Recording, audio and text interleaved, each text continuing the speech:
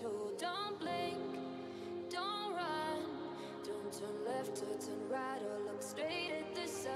My mind's going in circles, I'm trying to fight it. Getting these voices inside to stay quiet. Gone to the place where all this began.